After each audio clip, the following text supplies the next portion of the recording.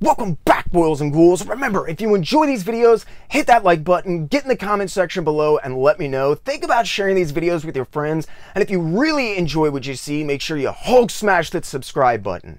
If you feel like you're in a position to help the channel grow, think about using the link in the description below to sign up for my Patreon page for tons of behind the scenes posts, exclusive content, and even a personal shout out on the channel. If you want to help out the channel but Patreon is not your thing, there's links to Jerk comic shirts and tons of other merch in the description below as well. But now it's time for another exciting episode of Page Turners. These videos are designed to showcase some of my favorite single issues of all time, which you can pull out of back issue bins for basically cover price or less, and give you all some context and behind the scenes information on what I think are some of the best comics ever released. The spec boom in the 90s was over. Sales were in a slump so bad that Marvel and DC began resorting to any methods that they could conceive of to boost sales. And none of it worked. In the aftermath of the collector's market of the 1990s, Marvel limped on with little hope of surviving the next decade. Then they revolutionized their comic universe and boosted sales with one of the oldest, saddest, tiredest routines in the industry a reboot. But this wasn't just any reboot, this was the reboot, the ultimate reboot.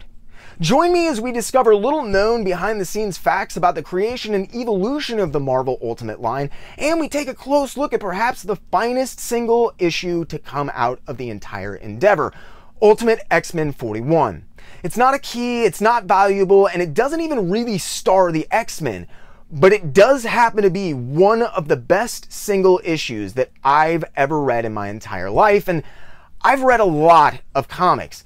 Trust me, you are not going to want to miss this one. So kick back and relax as we examine one of my all time favorite comics and take a journey through the creation and evolution of the Ultimate line while we do, in a little video essay I like to call The Bendis Mightier Than the Sword. You can just call me the Punisher, because I got puns all day, baby. Frank Hassel, the Punisher.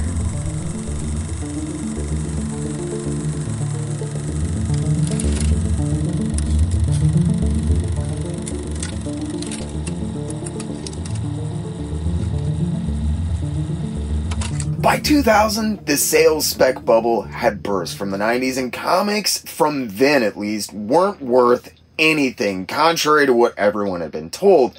Sales were in a slump, and Brian Michael Bendis was hired to start the Ultimate line in hopes of kickstarting sales, but people really didn't know where to start or what to try. Comics had gone from a billion dollar a year industry in 1993 to a quarter of that by 2000. Marvel had already declared Chapter 11 bankruptcy, and Bendis has said in quotes that he thought he was writing one of, if not the last Marvel comics. Now, this is a song and dance I've heard before, though. Every time the industry gets this shaken up, they have to do something drastic. Think outside of the box, and they have to do something original. This is not easy for the comic industry and it inevitably leads to a wave of imitators and clones that will oversaturate that particular market and kill that demographic eventually. But that's been the case since the very beginning.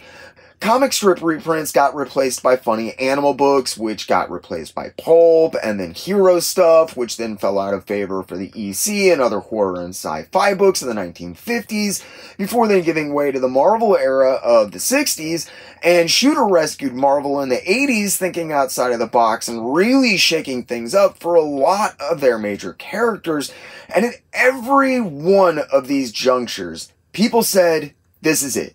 Comics are dead but as long as we keep buying new books as readers, they'll keep putting them out. There might not always be like 50 Spider-Man titles a month, but at this point, I'm not entirely sure that's a bad thing. A big problem with the 90s, yes, the speculators bust was terrible, but one of the major problems that comics were beginning to face was the very thing that had made them different and special only a short time before.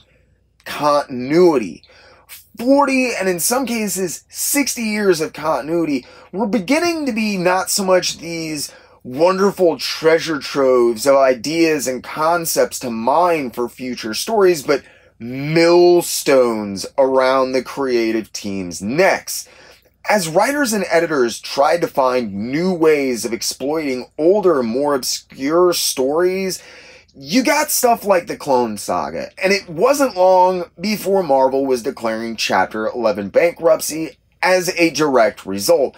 I mean, who would have guessed that telling fans that the Spider-Man they'd been reading for almost 40 years wasn't the real Spider-Man, but a mentally unstable clone who super slapped his pregnant wife so hard that Hank Pym told him to chill out would upset fans. Sorry. Sorry.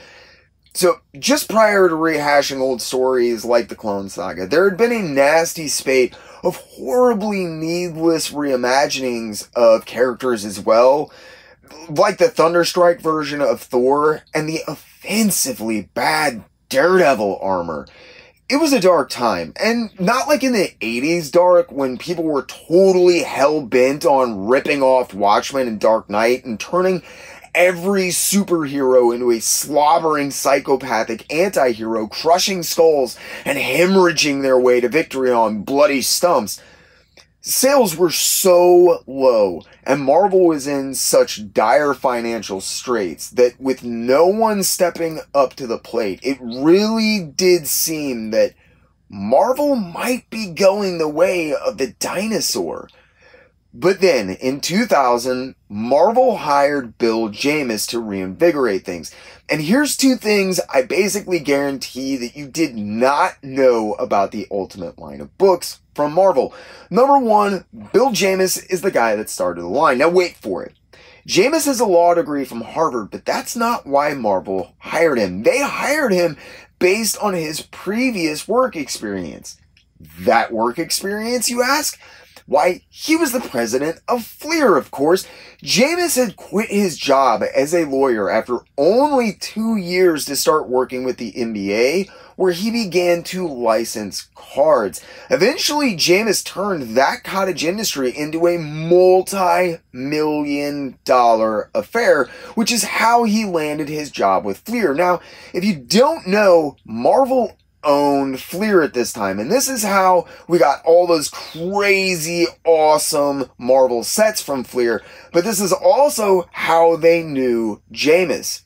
Feeling that they had little left to lose, I think, Marvel promoted the ambitious Jemas during the corporate restructuring that took place following the Chapter 11 bankruptcy the second and perhaps the most shocking thing is that the Ultimate line was started on suggestion from none other than Gareb Shameless of Wizard Magazine, uh, sorry, Gareb Shamus of Wizard Magazine fame. Shamus suggested to Jemas that Marvel do teenage versions of their characters, and Jemas took the idea and ran with it. In fact, I get the feeling that's basically the entirety of the pitch for Ultimate that Jemas would give Brian Michael Bendis and Howard Mackie that turned them off so much. It seemed like a more logical thing to start Peter Parker off as a teenager again. Much of his cast still revolved around old classmates, and school had always played pretty heavily into Spider-Man's ethos, but one of the things that had made the X-Men so interesting over the years, and specifically the Claremont years, is the fact that they had, in essence, aged, and more importantly, they had grown as characters.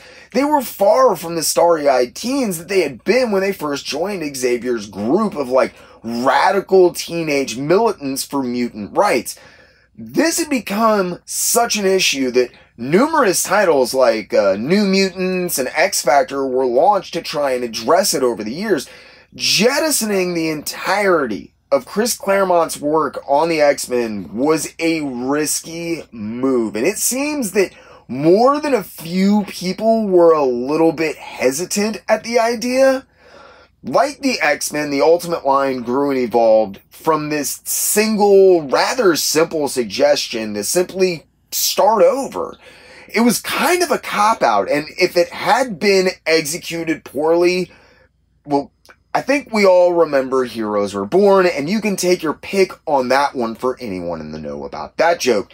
And the Ultimate line did not start off on what I would call solid ground. You can tell Jemas was super out of touch with the youth culture, and everything about the origins of the Ultimate line sounds super hokey when you read about it. Originally, I guess they were going to call it the Ground Zero line, which is just awful. With the kinds of images that conjures to mind, I can only begin to imagine the pitch that Jemas delivered to try and get Brian Michael Bendis and Howard Mackie on board with Ultimate X-Men originally. But Jemas had always had a rather tenuous relationship with talent anyways. So enter his right hand man and the guy who is really responsible for recruiting the younger wave of talent that would be needed to ensure the ultimate line wasn't a complete joke and outdated before it even launched. Joe Quesada. Quesada is loved and hated by comics fans, but during their time at Marvel, even after their toxic relationship turned into a complete public dumpster fire with the two contradicting and taking vindictive pot shots at one another via various media outlets. Quesada and Jemas managed to release the Marvel Max line, which allowed Ennis to really run with his genius reimaginings of the Punisher. Cement the Marvel Knights line, breathing new life into Daredevil for probably the first time since Frank Miller worked on the title in the 80s, and most important to many people of my generation and those that came before us, Quesada and Jemas were the ones responsible for finally getting rid of the Comics Code seal, which had haunted covers for decades. This is to say that while they might have relied a little too much on fireworks, Quesada and Jemas, much like Jim Shooter before them, rescued Marvel Comics from the brink of financial disaster and dragged the company kicking and screaming into the modern day, reviving long dead properties and reinvigorating interest in other flagship properties suffering from waning sales. When Jemas finally did get the Ultimate Line started, it did not start with the bang that I think everyone remembers today. Ultimate Spider-Man sold a measly 54,000 some odd copies. Now today that number isn't terrible, but even just 20 years ago, those numbers were not gangbusters. And here's another cool little bit of trivia, and I'm not sure people remember. It's a kind of third fact about the Ultimate line. The success of the Ultimate line did not come from the direct market.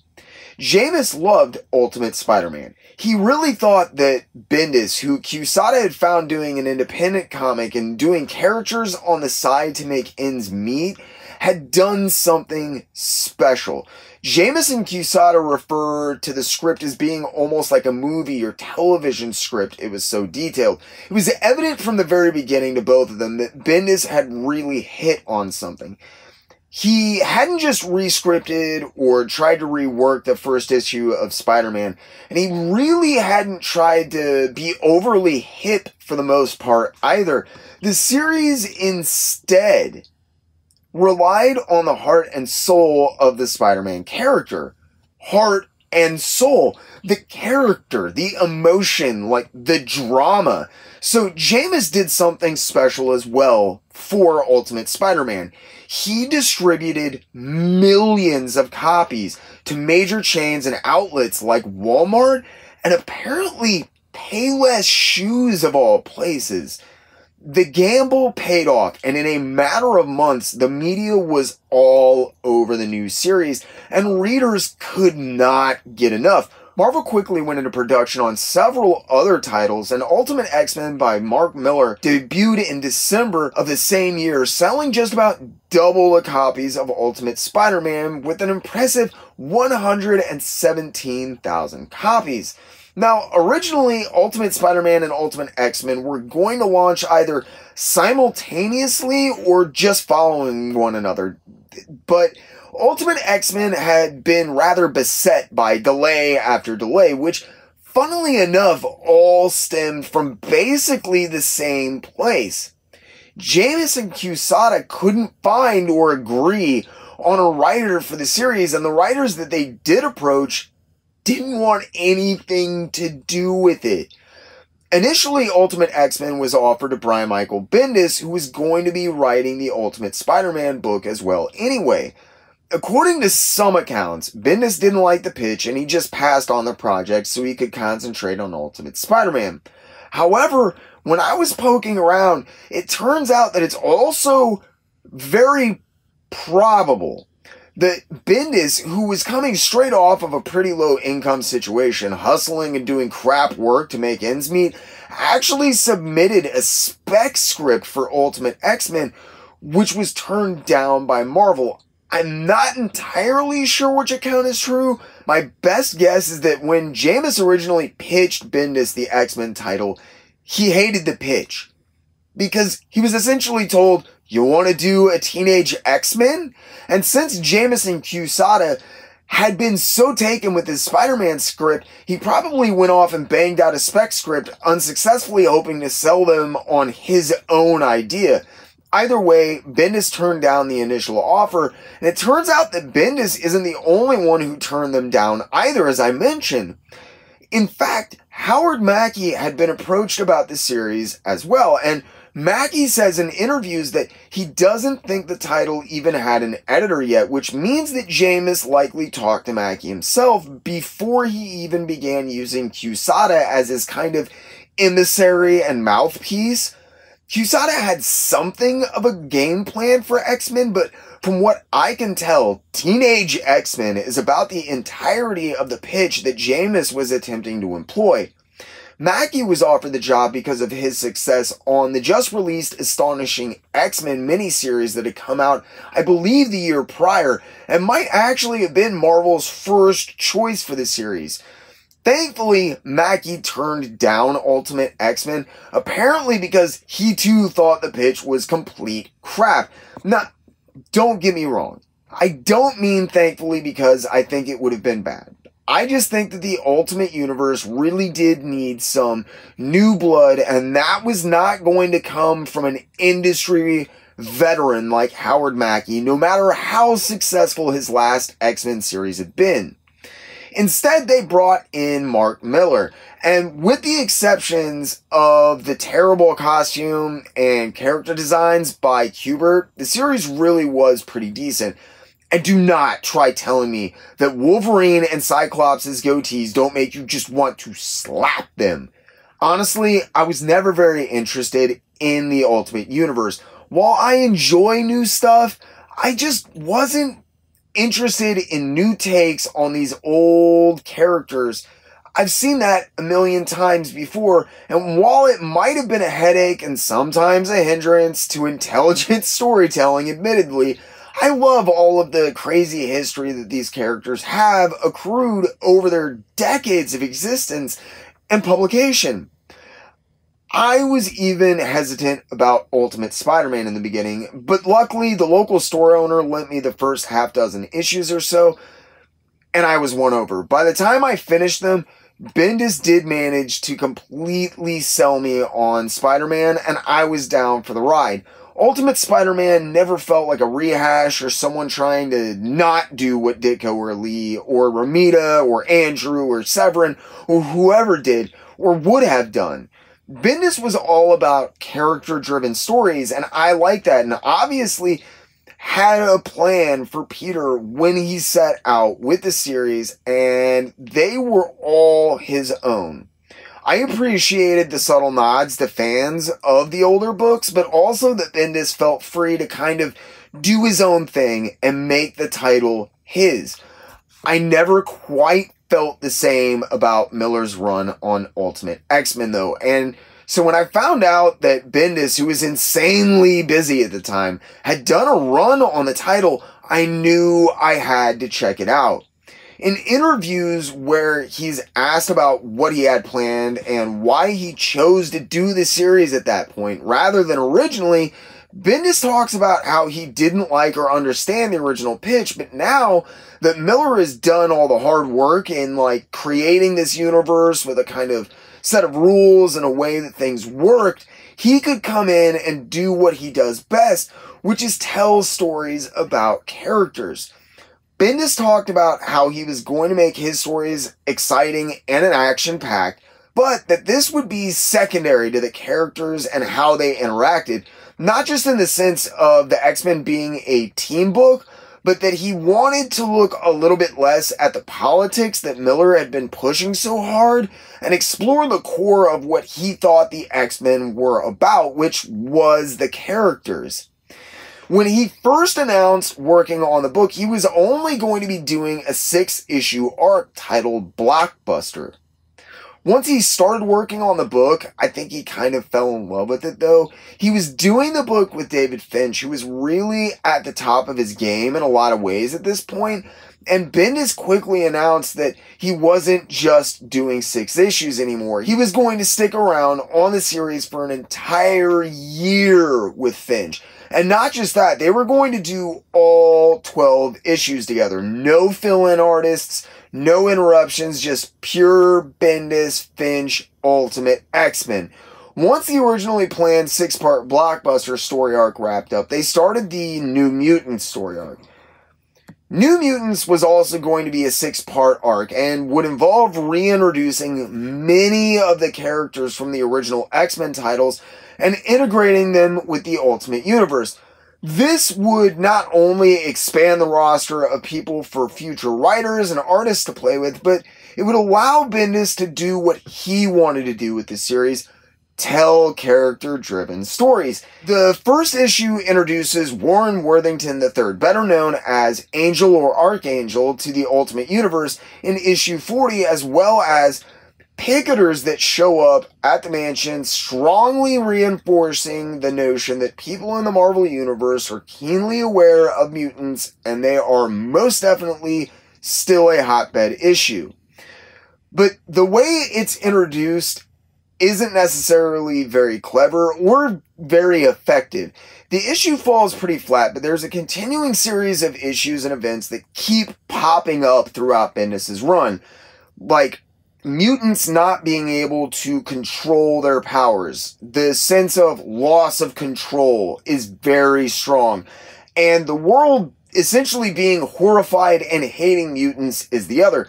Not that these are necessarily new to the X-Men, it's just that these were very heavily pushed by Bendis, and the second issue in his New Mutants arc comes out of almost absolutely nowhere. It is a kind of a psychological gut punch, the likes of which I have rarely encountered in my decades of reading comics. I will say that without a doubt that this issue is on a short list of about 10 comics, which I think are the most intelligent, insightful, and emotionally effective single issues of comics written in decades. It's the kind of comic book that you can basically hand to almost anyone and they can read it and take away something from it. Maybe even a greater understanding and respect for comics. That's how good this issue is.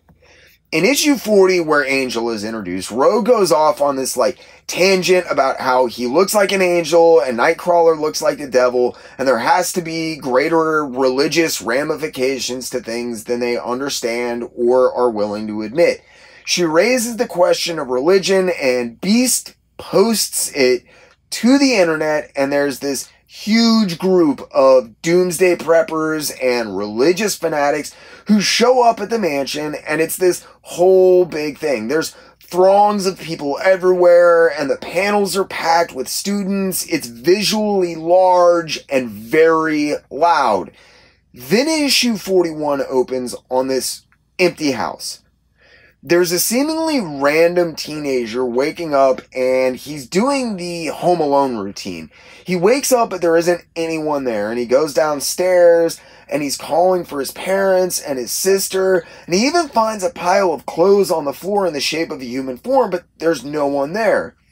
and he eats breakfast and then he heads out for school and he doesn't see anyone for a while while he's headed to school either and he's kind of wandering through what appears to be a ghost town. The art by David Finch is one of the things that makes this such an effective issue. You're sucked into the scene as he's walking along. Finch is really wonderful at these tiny, luscious details, these wonderful backgrounds, and this incredibly immersive scenery. And so you really feel like you're almost watching a short film as this kid is walking down these empty sidewalks and looking at streets with no cars and no people. Finally, as he passes this intersection, he sees some people driving their cars and he's super relieved because he was starting to get that whole Home Alone, It's a Wonderful Life feeling where something was just off.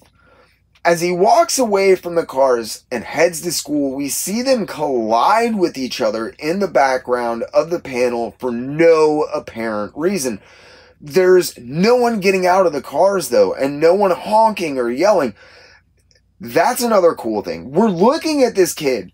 He's absolutely the focal point of these panels. And in the background, there's these super important pieces of information. There's this incredibly detailed story happening in the background. Bendis had obviously learned that he could utilize Finch's ability to design and lay out scenery and backgrounds to tell a much more visually cinematic story in a lot of ways, and issue 41 shows that off incredibly effectively. Another way you can tell this issue isn't just special to me, I think, is the fact it has no title. There's no credits. There's no big splash page setting stuff up with brightly colored, ballooned up lettering to catch your eye. We are dropped straight into a scene and things just keep moving almost in one continuous scene in a sense until the halfway point of this comic if it were a short film, I get the feeling it might be an almost continuous shot short film until the middle of the book. This issue is not a widescreen comic though. But when Quesada and Jemas were asked why they hired Brian Michael Bendis for the Ultimate Spider-Man title after so many disagreements about who is going to write it, as I said, they said it was because of his quote unquote television like script. Bendis, I think, just writes stuff up extremely detailed, kind of like Alan Moore, like a movie or a television script, because that's how he sees it in his head. And by this point, he'd been working with Finch for months, and this issue feels like Bendis simply taking the opportunity to tell this story almost because he can. Because Finch is good enough at telling a story visually. Bendis feels comfortable not blanketing the pages in dialogue. And in a lot of ways, it's almost like he had to tell this story. It, it does not fall in line right after the last issue or even the last seven issues. It's not like, oh yeah, okay, now we're going to meet this new guy. And then, no, this issue is a stand-alone issue. It works completely on its own, and I think it says more about the entire X-Men universe than the entirety of the rest of the Ultimate X-Men title combined. Although, to be fair, it does thematically tie into the continued ideas of loss of power and the general public's negative perceptions of mutants.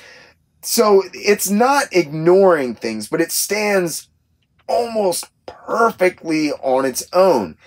So this kid is walking to school and we see this car wreck, but he doesn't. And he's just walking along and when he gets to school, his girlfriend is super pissed off because apparently he didn't call her back because he wasn't allowed, he's not allowed to use his cell phone after 10 o'clock at night.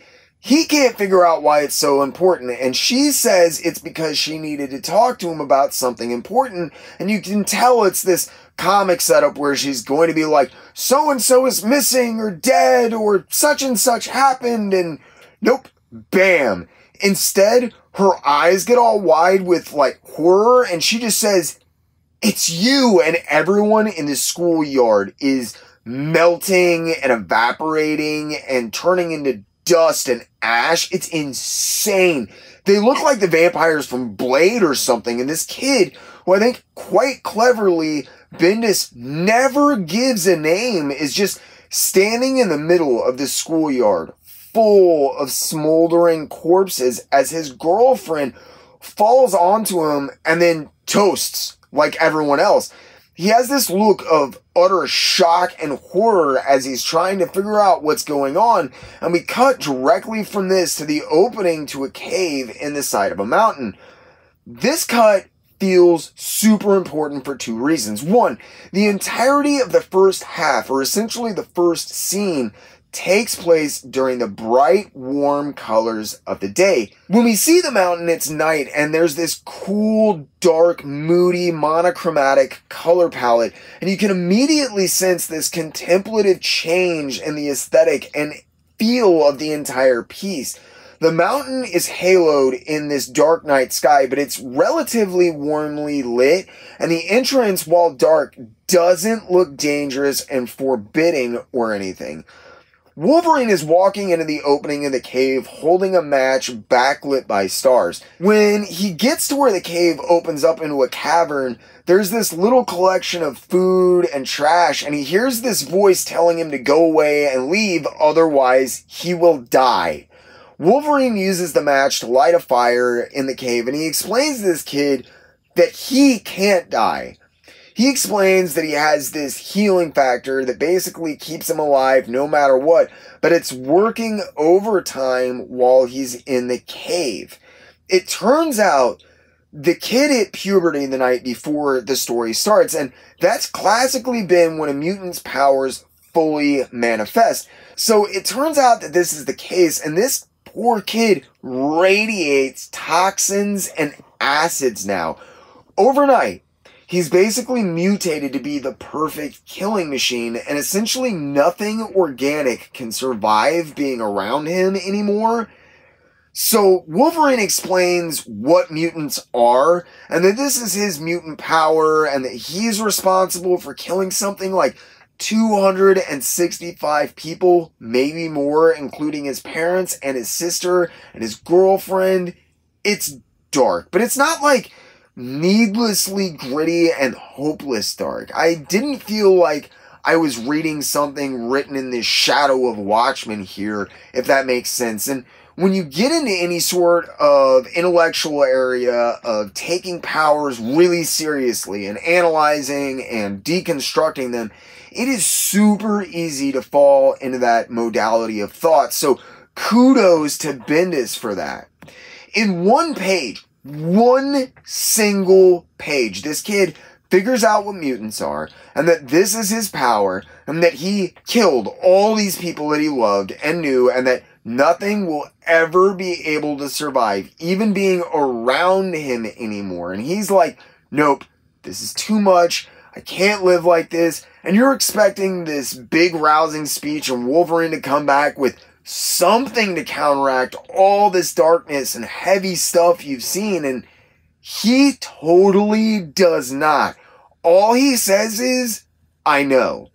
And like, if you've read comics long enough, things totally click at this point and you know why Wolverine is there. And it's not because of his mutant healing factor. Wolverine is drinking this beer and he hands one to this kid. And that's another thing that makes this story work. You almost feel like you're kind of breaking the rules with this X-Men giving a high school kid a beer. And it's not Bendis being like, oh yeah, no, these aren't your parents' X-Men. They're edgy and they drink. It feels very organic and like a human decision that Logan would have made. And that's what he introduces himself as, by the way. He does not tell the kid his name is Wolverine. He tells him his name is Logan, which is a small touch, admittedly, but I thought it added a lot to the story. So Wolverine hands this kid a beer, and the kid is like, I should have done more with my life, huh? And he tells him he's a virgin, and he kind of starts to come apart a little, and he's like, I should have never been born.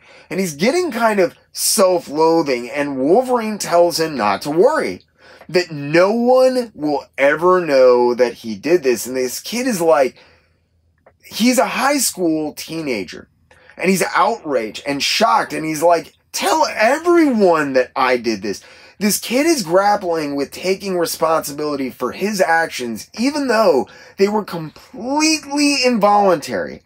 And this speaks to the core of what the X-Men have always really been about. It also ties back into a few things that were taking place in the series at the time, but honestly, this issue says just about as much about any era or version of the X-Men as it does about the Ultimate Universe for me. There are these seemingly normal people given extraordinary powers and then treated extraordinarily bad by the world around them, but they always kind of manage to rise above that and morally prove themselves superior for the most part. It's an old idea and concept, but I'm not sure I've ever seen it so effectively conveyed in a single issue before. At this point, not only has this kid basically already admitted that he can't live like this because he doesn't want to hurt anyone, but it's evident he wants the world to know what happened so that people can get whatever closure that they can and move on. And Wolverine is like, nope, not gonna happen. And I remember when I was reading this for the first time, I was like, wait a minute, what? And here is the super dark twist that you basically do not see coming. Wolverine's like, see, if the world ever found out that a mutant was this dangerous, that a single mutant killed an entire town of people overnight by accident because he hit puberty, that would be it. They would hunt us down, they would round us up, and that would be the end of everything. And he says there's a quote, big picture thing going on here. You think of Wolverine as the one X-Man who is okay with killing. And he has these knives coming out of his hands, and he's been brainwashed and trained to be the perfect killing machine. He's this perfect feral berserker killing machine because of his particular mutations as well. Just like this kid is a perfect killing machine because of his mutation, but as this kid is wrestling with the implication of who he is and what he's done, Wolverine is essentially trying to rationalize murdering, or at the very least, killing a high school kid for the greater good. Wolverine has always been the one X-Man who, while he constantly questions Xavier's dreams and his methods, has proven time and time again to perhaps be just as zealous about them as Xavier is in most cases. I think at the core of his character, Wolverine almost needs the X-Men to work because if Xavier's dream is crap, then his entire existence is without meaning and all of his suffering has been for nothing. Wolverine is on a constant road to self-redemption for events that in many continuities he's not even fully aware of, but even Cyclops wouldn't off a kid for Chuck and the greater good of mutant kind. Wolverine would though, because of this. Wolverine would find some way to rationalize it and make that fit into his worldview. And that's the beauty of this comic. It works. It's not out of character and it doesn't feel forced or strange or weird. David Finch's incredibly expressive art pulls you into the story and makes you feel like you almost know this poor random teenage kid too. You definitely know how he's feeling and kind of what he's thinking. Again, to Bendis and Finch's credit, not because of excessive dialogue or even thought bubbles. Another comic trope that isn't utilized in a single panel of this issue, but because of facial expressions. Another super interesting thing that I picked up on is the fact that this conversation is composed of basically tight headshot panels as the two exchange dialogue. Wolverine has a dark night sky background behind him, but the kid has nothing but an inky black void. It's a small, subtle thing, but it's that kind of attention to detail, I think, that makes this such an incredibly amazing comic. So the kid is talking to Wolverine and he asks him if a single chromosome had moved, could he have been an X-Men or something? But instead of answering him, Wolverine just tells him to finish his beer. And you can see the defeat and the sadness, and the kid just says, just do it. It's a wonderfully understated moment, and not having any clunky or stupid dialogue is one of the things that makes this work so well we pull out of the opening to the cave now in the daytime, and we get almost an entire page of just a hollow, cavernous opening to this place of sadness and tragedy. And then Wolverine appears, stoically looking into the distance, the sun kind of repelled by the darkness of the of his long hair and scruffy five o'clock shadow, but it doesn't come off cheesy or contrived Really, this is one of the best single issues I've ever read. I cannot tell you how many times I've just cracked this open and thumbed through it. You don't need to know anything about anyone in the story to enjoy it, other than maybe, I guess, having a general understanding of Wolverine. But I think that more than anything, he kind of feels like a soldier in this story. He's not there to exact revenge or anything. He's there to go and kill this kid whose mutant abilities just accidentally wiped out a good section of a small rural town.